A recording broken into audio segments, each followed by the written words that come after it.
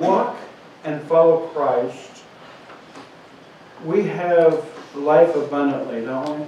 Amen. I mean, um, the agenda of Jesus is they might have life and have it abundantly, right? It says in John 10:10 10, that the thief cometh not but for to kill and to steal and to destroy. That's what the devil wants to do. He wants to kill you. He wants to destroy you. Uh, he wants to rip you off. Amen. But Jesus said, I have come that they might have life and have it more abundantly. And so um, this morning's uh, message is, I, I, just love how God puts together a, ser uh, a service. You know, from the Sunday school teaching to, to the sermon, to the worship, to the prayer. I, I love how the Holy Spirit puts it together. And the, uh, I, you know, and so here's the title of the, uh, uh, the uh, sermon, Cultivating the Abundant Life. Cultivating the Abundant Life. So let's say our purpose statement together. Whatever it takes to know Jesus and to make Jesus known. That's what it's about. So the first responsibility of the church toward the individual is to bring them to Christ, right? And we call that, what, evangelism. We want to bring uh, lost sinners to Christ and uh, that they might be saved and receive what? A new life in Christ Jesus, right? And so we have a new life uh, in Christ Jesus. Um, and um, and it, it, so when Jesus was on earth, he gave his disciples new life, and then he cultivated that life in them. Okay, now that cultivation of the new life is called discipleship. So evangelism and discipleship go hand in hand. Now the reason why uh, in our churches, a lot of times that people are falling away a lot of times that people, they come in, they say, well, I think I'll try Christianity. They come, walk the aisle, and maybe they even get baptized, and then you never see them again. A lot of the reason why is because, uh, well, they tried it and it didn't work for them. Why? Because the church did not cultivate the abundant life in them. Like I said, this ought to be a fertile ground for people to have, uh, uh, to, to grow in the grace and the knowledge of our Lord and Savior Jesus Christ. And so we need to, uh, we need to uh, have that responsibility responsibility. And uh, you have heard me say that uh, the two responsibilities of the church are, number one, reach lost people, and then to teach Christians to act like Christians. Right? I mean, and that, that second one's a tough one, isn't it? I mean, you know. Uh, yeah, but, uh, you know, the thing is, is, and, and a lot of times when, uh, when we see God save somebody and they have the old uh, grave clothes on and, and different things like that, we say, okay, God, that's good that you saved them, but I don't want to get around them. Because they're still in their old flesh. They're still in their old grave clothes. But we have to uh, make, uh, make that adjustment in our own minds, right? Amen. And so um, uh, the Bible makes it clear that a sinner out of Christ is dead and trespasses and sins in Ephesians 2, 1 through 3. And it says, you has he quickened uh, and so um, now he, that word quicken means made alive. So some of your translations will even say, you that he made alive, uh, who were dead in trespasses and sins, where in time past you walked according to the course of this world, according to the prince of power of the air, the spirit that now works in the children of disobedience. Now, uh, we can get those ill spirits in the church, can't we? And a lot of times, uh, these ill spirits can come into the church and they can work in the children of disobedience. And so uh, verse 3 it says, Among whom also we had our conversation in times past. So we, we've all been there in the, in the lust of the, our flesh, fulfilling the desires of the flesh and of, of the mind. And we're by nature the children of wrath, even as others. Now, uh, a lot of people, they want to get in touch with the natural man. You know, we just had this uh, event in northern Nevada called Burning Man, and they, they want to get in touch with the natural man, and believe me, they do. And we need to understand that, but the natural man has the wrath of God on them. We, the wrath of, so the wrath of man is on them by nature, the children of wrath, even, even as others. Now, the, the only thing that you can do with a dead man is to bury him. Right? Uh, the Bible also says that it is only Christ that can give life. 1 John 5, 12, He that hath the Son, uh, that's capital S-O-N, hath life, and he that hath not the Son of God, don't have no life. Hath not life, okay? Pretty, pretty uh, simple, all right? Now, when the sinner repents and turns to Christ in faith, receiving Him as a Savior and Lord, he receives life. After winning the sinner to Christ, it is the responsibility of the church to cultivate this life. Okay, we must lead individuals. Uh, I, and I'm going to give you three points today. We need to lead, uh, uh, lead individuals, number one, in the Lordship of Christ. We need to make Christ number one. The Lordship of Christ. Number two, we need to lead individuals in the importance of God's Word. And number three, we need to lead individuals to recognize the person of the Holy Ghost. You see, uh, a lot of times, you know, these, uh, these are uh, um, misrepresented in our churches and different things, and we don't keep the main thing the main thing. We go off of different programs, and, you know, we, uh, we don't get in, involved in the lives of people because, uh, you know, uh, uh, well, you know, we don't like that person or this person, uh, but we need to cultivate that abundant life. Now, when Jesus rose up Lazarus from the dead in John chapter 11, it says that when Jesus called Lazarus out of the grave, he came forth out of the grave bound with grave clothes. And, uh, and Jesus told those that were there to loose him and let him go. All right? Now, uh, you got to get this picture in your mind. You know, uh, Jesus comes up, hey, roll that rock away. And, you know, there's a big rock in front of this grave.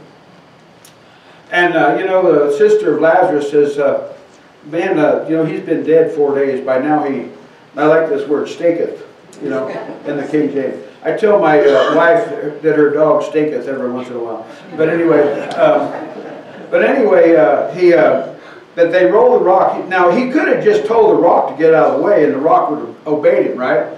But he got people involved with opening that grave, okay? And then, he's the one that resurrected the life, and then he got people involved again when he said, loose him and let him go. Now, Jesus could have just done all of it if he wanted to, and that's what we expect Jesus to do. We just expect Jesus to do it all. But no, we need to get involved in the lives of people. You see, uh, he said, loose him, and let him go. Let's go to John chapter 11, verse 39 through 44.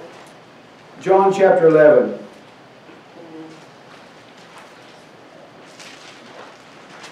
Verse 39.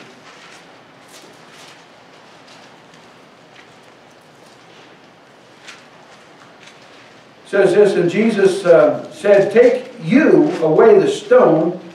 Martha, uh, the sister of him that was dead, said to him, Lord, by this time he stinketh, for he had been dead four days.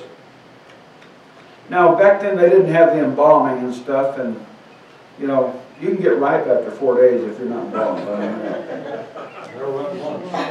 you know, man. Uh, now, uh, especially in the summertime, you know.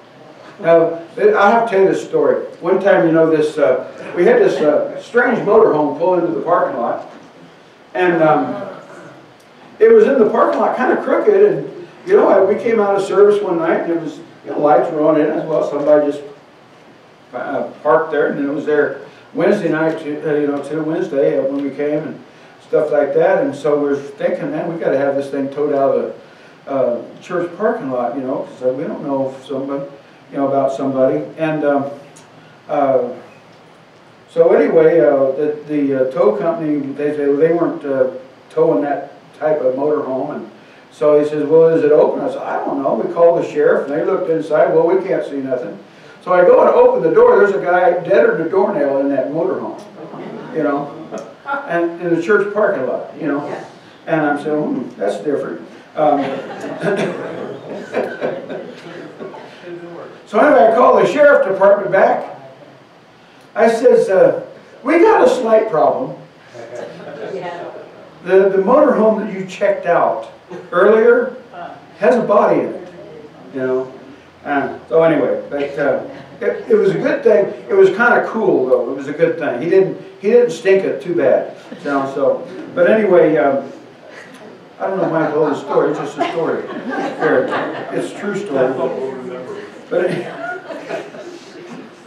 all right, now. Uh, He'd been dead four days. Verse 40, Jesus saith unto her, uh, you know, this is Martha, the, the sister of Lazarus, Said I not unto thee that if thou wouldest believe, thou shouldest see the glory of God? Now, what's the glory of God? The glory of God is the resurrection. That's the glory of God. You see, that's the glory. Then they took away the stone from the place where the dead was laid, and Jesus lifted up his eyes and said, Father, I thank thee that thou hast heard me, and I know that thou hearest me always, but because of the people which stand by, I said it, that they may believe that thou hast sent me. And when he had thus spoken, he cried with a loud voice, Lazarus, come forth! And he that was dead came forth Uh, bound hand and foot with grave clothes, and his face was bound with a napkin. And Jesus saith unto them, Loose him, and let him go. Now I'm going to go back a chapter, John chapter 10, verses 7 through 10. John chapter 10, verse 7. Then Jesus said unto them again, Verily, verily, I say unto you, I am the door of the sheep. All that ever came before me are thieves and robbers, but the sheep did not hear them. I am the door. By me, if any man enter in, he shall be saved, and shall go out and find pasture. The thief cometh not before to steal, to kill, and to destroy. I am come that they might have life, and that they might have it more abundantly. Let's go to the Lord in prayer. Father, I just pray, Father God, that we get this today in Jesus' name. Amen. Amen. There are those in the church that do not want to get around the one that still has the stench of death upon them, or get around someone that still has the clothes of the old nature on them. You know, but the Lord Jesus works together with his people to cultivate the abundant life. Uh, to me, there's no greater joy than to see Jesus raise up an individual from the dead, as he, and as he uh, is raised, they must recognize some things about God. They, they must recognize the lordship of Jesus Christ. It's not the Baptist church that you need to recognize. It is the lordship of our Lord and Savior Jesus Christ. The believer or new convert must understand that it was none other than the King of Kings and the Lord of Lords and the God of God which gave him life. It was not the Baptist church, it was Jesus. We need to understand that. He needs to realize that he belongs to Christ through redemption. 1 Corinthians 6, 19 through 20 uh, says what? Know ye not that your body is the temple of the Holy Ghost, which is in you, which you have of God, and you are not your own? For you are bought with a price, therefore glorify God in your body and in your spirit, which are God's. A lot of people say, well, I'm saved, you know, but I can, I can uh, you know, just uh, go about and, and uh, walk in the flesh, and by the grace of God, He'll take me to heaven. No, it says glorify God in your body and your spirit, which are God's. They're both God's. God has redeemed us through His precious blood, and you were bought with a price. You're not, and you're not your own. Now, modern Christianity wants all, uh, all the benefits of their own way, and they want a God that will serve them. I do not think that people realize anymore that it was Christ and only Him that snatched you out of the grave where you were dead and bound and going to hell. We need to understand that, you know, without Christ, uh, we were dead. Without Christ, uh, we are on our way to hell. I remember when uh, God saved me, I was on my way to hell. I was trying to go to hell. I'd have made it too if it wasn't great, for the grace of God. You know what I'm saying? But God came down, and He's the one that redeemed my soul. He's the one that saved my soul. And I give Him glory in the church today because He is the one that did the work. And I have to realize every day, just like every one of us, the lordship of our Lord and Savior, Jesus Christ. Amen. You see, the people today want a new way to get to God, but Jesus said that if you do not come in the door, then you're a thief and a robber. People today are looking for all kinds of different ways to get to God. They're trying to climb up some other way rather than uh, the way of the cross. They're trying to go through some other person than the person of Jesus Christ. They may be esteeming Mohammed or Buddha or Hare Krishna or Joseph Smith as the way to be saved. But I declare to you the word of the Lord today that Jesus said, I'm the door. By me, if any man enter, he shall be saved and shall go out and find pasture. Jesus is the only way to get saved. He is the only door that we can enter into. Sometimes the church gets sucked up into a, the erroneous error of believing that what the world preaches, that all roads eventually lead to heaven. No. Or if, uh, if uh, or it don't matter what door you go in as long as you are sincere in your, in your belief. No, it matters what door you go into. And I'm going to preach him. His name is Jesus. I'm going, it matters what door you are going in. Jesus is still the Lord of lords and the King of kings and the God of gods. He still has the name above every name. That at the name of Jesus, uh, every knee shall bow and every tongue confess that Jesus Christ is Lord to the glory of the Father. Beloved, you have been bought with a price of the precious blood of the Lamb. And we need to recognize that we are to be loyal to Christ as Lord. The Lordship of Jesus Christ. We are also to render loving obedience to Christ. John 14, 15. Jesus said, if you love me, keep my commandments. Amen. You know, a lot of people say, oh, I love Jesus. You know, I've been guilty of that. Oh, I love Jesus, but I'm not keeping his commandments. Jesus said, if you love me, keep my commandments. Love is greater force than law. Love will cause a man to do more than the law requires. Love will cause us to go that second mile that Christ taught us about. Not only are we to teach the Lordship of Christ, number two, we are, we are to recognize the importance of God's Word. We are to recognize the importance of God's Word. You know, uh, a lot of uh, uh, churches, they just uh, want to say, well, you know, I, I want you to give me a good sermon, preacher, or something, and they, and they never get into the Word during the week they, uh, they just come for an hour Sunday morning. That's, this is not enough word for you, folks. It's not enough. Okay? Uh, we need to recognize him. God's word is food for the soul. The, the Bible exhorts the believer to desire the word of God. Amen. Right? Yeah. I mean, uh, uh, what, what, let me uh, let me ask. What do you desire? Well, where's your treasures? Jesus said, "Where your treasures, there your heart will be also." Where's your treasure? Uh, you are to desire the Word of God. It says in 1 Peter 2, 2, as newborns babe, uh, as newborn babes desire the sincere milk of the Word, that you may grow thereby. You see, you need to grow in, in your spiritual life. You, as we cultivate that spiritual life in you, you need to grow in your spiritual life. Otherwise, it's just the flesh working on the other side of the fence and we have not changed our minds about the things of the flesh. We have not changed our mind about Jesus, the Lordship of Jesus. We still want to be in control and different things, and we have not changed our, our mind. But the Word of God will uh, convict our hearts. The Word of God will change our minds. It says, Be ye transformed by the renewing of your mind. Amen. That you may prove what is that good and acceptable and perfect will of God. You know? And so uh, Deuteronomy 8 3, Jesus quoted this one to the devil. As he humbled thee and suffered thee to hunger and fed thee with manna, which thou knewest not, neither did thy fathers know, that he might make thee to know that man doth not live by bread only, but by every word that proceeds out of the mouth of the Lord doth man live. We don't just live by, by eating food. We don't just live by, you know, uh, entertainment and different things. We live in our spiritual life. We live by the very Word of God. In Job 23, 12, neither have I gone back from the commandment of his lips. I have esteemed the words of his mouth more than my necessary food. We need to understand the importance of God's word. In Psalm 19, 103, how sweet are thy words unto my taste, yea, sweeter than honey unto my mouth. See, just like good food is essential for physical growth, the Word of God is essential for spiritual growth. The Bible also exhorts the believer to study the Word of God. All right?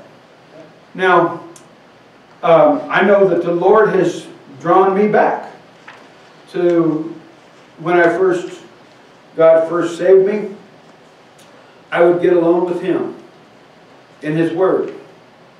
And I would mull over the Word, I'd meditate upon the Word. The Lord has drawn me back to that. Because here's what I did.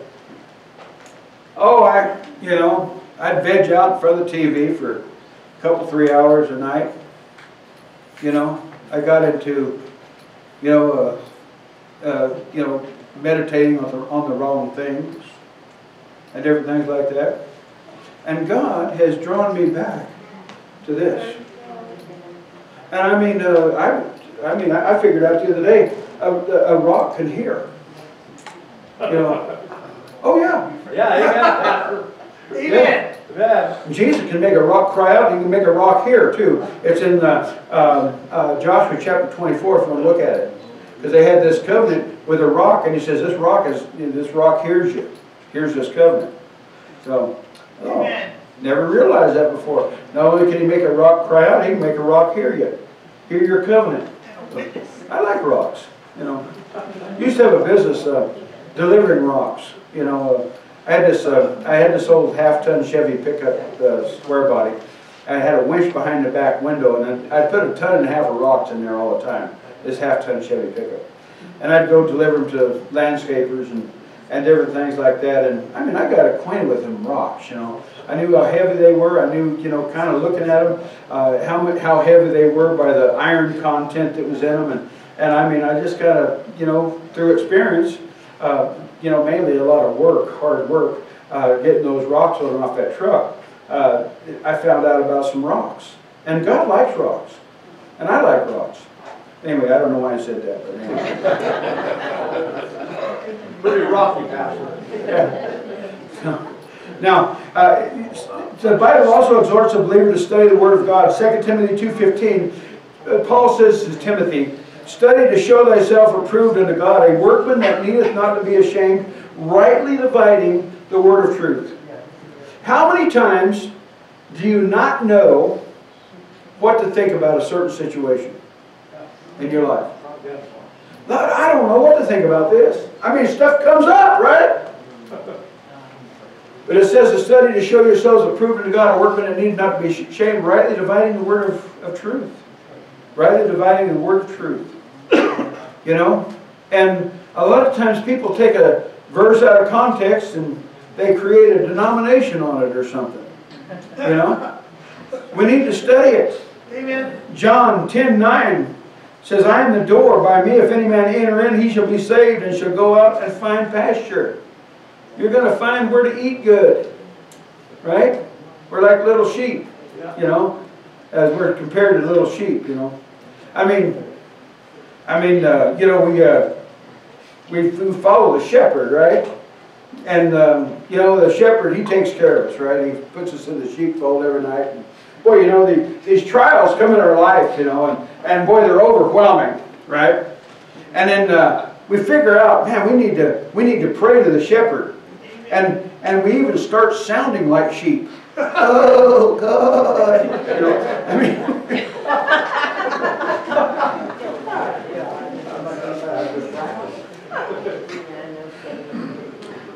But, uh, yeah, we're good. Sorry about that. Sense of humor. All right. Now, not only are we to desire the Word of God and study the Word of God, we are also we are also are to practice the Word of God. Right? James 1 21 and 22 says this Wherefore, lay apart all filthiness and superfluity of naughtiness, and receive with meekness the engrafted word which is able to save your souls. But be you doers of the word, and not hearers only, deceiving your own selves. Now, if you just come in, well, that was a good good sermon, Pastor, or whatever, that really touched my heart. Well, I, okay, that's good. What are you going to do about it? Are you going to apply it to your life and practice it? See? And um, that's where discipleship comes in, right? That we teach people to follow Christ. You see, I exhort you today to get into a weekly Bible study and to study the Bible every day. Study the Bible. I want you to have ESP. E for eat the Word of God, S for study the Word of God, and P for practice the Word of God. I want you to have ESP. Study, eat, and or eat, study, and practice. All right. Now, uh, practicing the Word of God includes living holy lives. Now, let's go to 1 Peter, Peter 1, 1 Peter 1. If you're looking for 1 Peter, it is right before 2 Peter.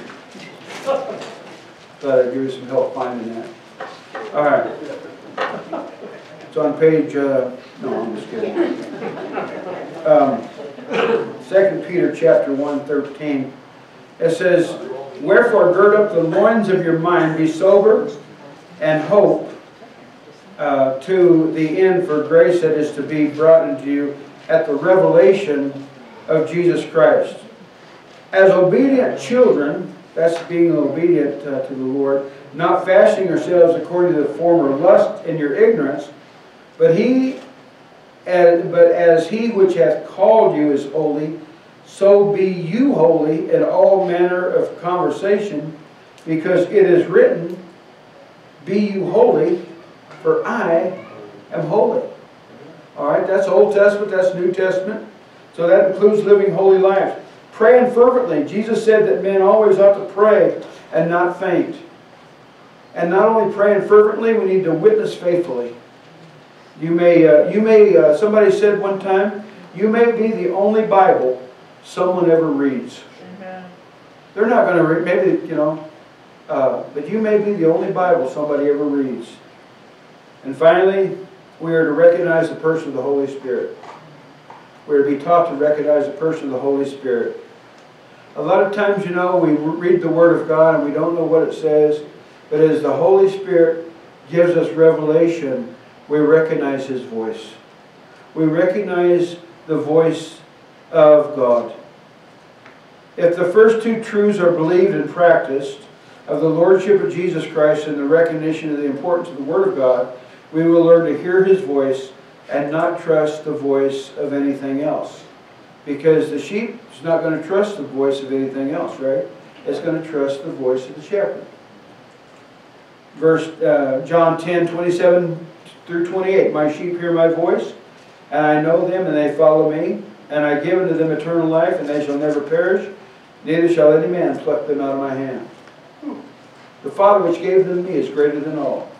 And no one is able to pluck them out of the Father's hand. I mean, you can go on in that, that John chapter 10. It's a wonderful uh, chapter.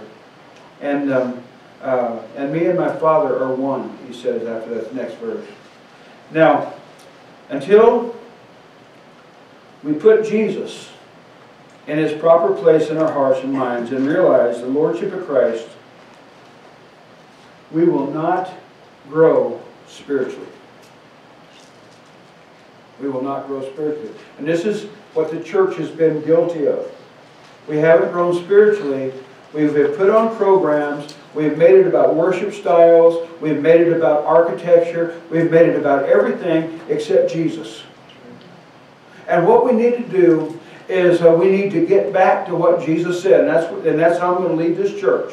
We're going to get back to what Jesus said. It's not a program. It's in, it's, it's in here. It's in this right here. It's, and we're going to uh, we're going to get back to that. And until we put Jesus in his proper place in our hearts and minds and realize the Lordship of Christ, will not grow spiritually. Not recognizing the importance of God's Word will cause us to starve to death. Many churches are starving to death. And not hearing the voice of the Spirit will cause Jesus to remove his candlestick from our midst, according to Revelation.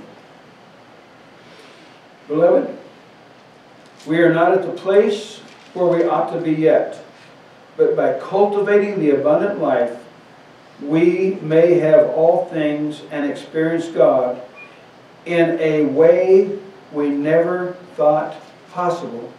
Because what He's able to give us overly above what we uh, are able to think or ask, right? By the church. In Jesus' name, amen. Amen. And so, uh, you know, uh, you know, a lot of times, you know, we come up here and we call for decisions, and then, uh, okay, somebody comes and they make a decision for Christ, and then we say, oh, well, that's good, we got them into the church, and so they sign the Baptist card, and then we kind of forget about them, you know, but uh, we need to be, as a church, body function, we need to be about what Jesus said. We need to be about what Jesus said in, in uh, uh, Matthew chapter 28. The last thing he told his disciples, Go ye therefore to all the world and teach all nations, baptizing them in the name of the Father, Son, and the Holy Ghost. Now, is it, let me ask you this. Is it our job or is it Jesus' job to grow the church? Jesus' job to grow the church. Our job is to teach all nations to follow him. You see, the growth of Fernley First Baptist Church doesn't depend on me trying to talk somebody into something. If I can talk you into something, the devil will talk back out of it.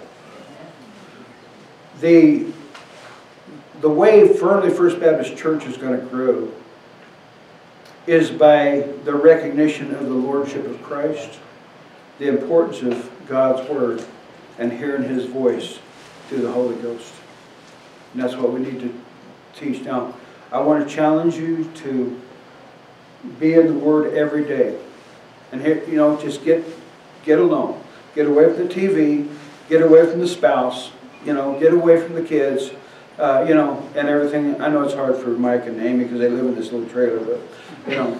Um, but anyway, uh, get, uh, get away on your own and say, Lord, I want you to show me your ways. Lord, I want you to give me your spirit. I want you to give me your understanding, your knowledge, and, and your wisdom.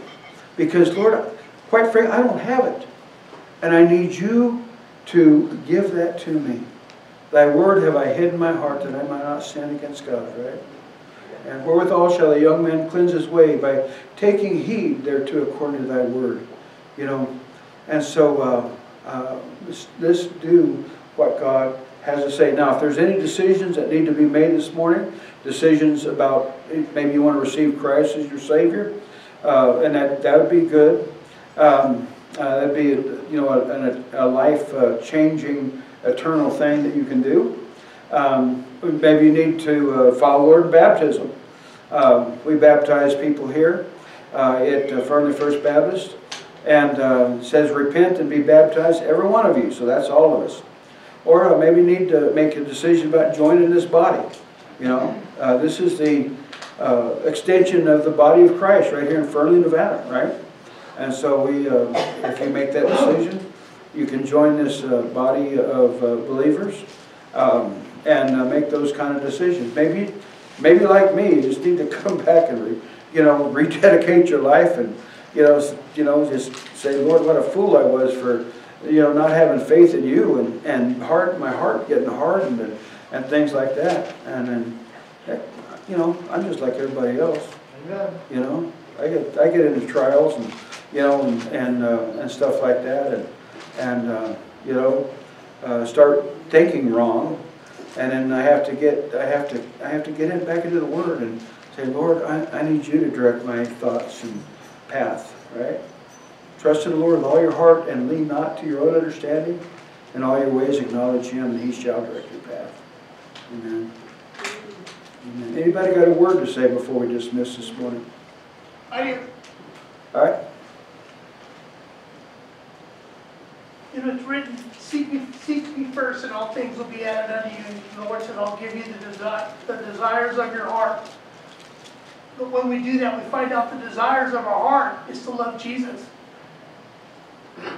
Not these other things that we think our desires are, but our true desire is to love Jesus. Just for the exact reason he created us, was to love him. And when that happens, who can be against us? Yes, Amen. Oh, the, the greatest commandment is to love the Lord with all your heart, soul, strength, and mind. And the second is like unto it, love your neighbors yourself. You know, a lot of times we, uh, we don't make it about the Lord, we make it about how we feel, and sometimes how we feel about somebody else. You know, a lot of times I've, I've seen people get mad at me, if you can just imagine that, I, you know. But, uh, you know, some people, you know, uh, and, and, you know, they, they walk away. I've had walking out the church door cursing me and stuff. Okay, um, you know, so, uh, but, you know, when you, when you stand for what's right, uh, there are people that's not going to agree with it, you know. And, uh, you know, we don't have a position to defend, we have a revelation to declare, and his name is Jesus, right? So let's keep on. Uh, the main thing is to keep the main thing, the main thing. Amen. Anybody else got a word? Yes, William. A song came to me as we were closing the service, and church, please catch up when I start singing. Oh, how I love Jesus. Raise your hands if you mean it. Oh, how I love Jesus.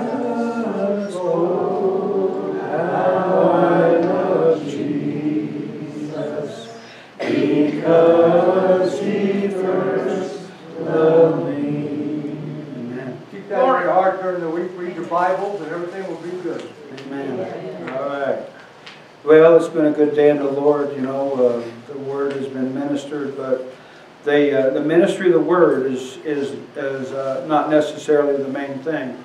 The main thing is Jesus, that we exalt him uh, in, in our presence, that we uh, put in the minds of people and train people the importance of God's word, the lordship of Christ, and, and to hear the voice of the Spirit. Amen? Let's go to the Lord in uh, prayer. He Yes. If we draw near to him, he will draw near to us. Yeah, Amen. yeah. It says, draw near to the Lord, he'll draw near to us, cleanse our hands as, as as sinners, and purify our hearts, you double-minded. And a lot of times, you know, we can, um, in our, in our churches, we can get into sin. We can get into double-mindedness, and the, and the world is always there pushing double-mindedness. You know, we, you need to think like the world too. No, you don't. We need to think like Jesus, okay? And so, uh, so, you know, be transformed by the renewing of your mind. And tell the devil, neener, neener. So there you go. I'm gonna be like Jesus, right? Amen. All right, let's go, Lord, in, uh, in prayer. Father, we uh, call upon you, Lord. I thank you, Lord, for, for this body of believers. I thank you, Lord, that, that, Lord, we can come and just uh, worship you, Lord God, and lift you up. And Lord, I pray, Father God, that, Lord, uh, that we would uh, recognize the lordship of you. I, I, I pray that we would realize the importance of your word, and I pray that we would hear. Give us ears to hear, Lord, till we, we can hear the voice of your Spirit. And Lord, I pray, Father God, that, Lord, uh, to, to come before you and repent of our sins and purify our hearts as being double-minded. And Lord, I pray that we would draw near to you, that you might draw near to us. And Lord, all power is given unto you in heaven and in earth. And you're still with us today, even till the end of the world. And Lord, I thank you and praise you this day in Jesus' name. Amen. Amen. God bless you until we meet again.